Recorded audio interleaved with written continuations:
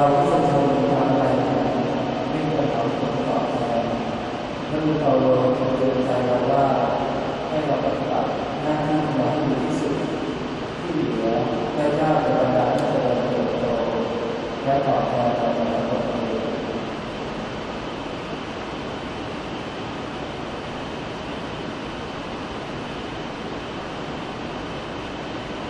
อ่านจากจดหมายของคุณเปาโลถึงชาวโครินธ์ฉบับที่หนึ่งพระเปาโลเป็นใครเปา โลเป็นใครทั้งสองเป็นผู้รับใช้ที่นำความเชื่อ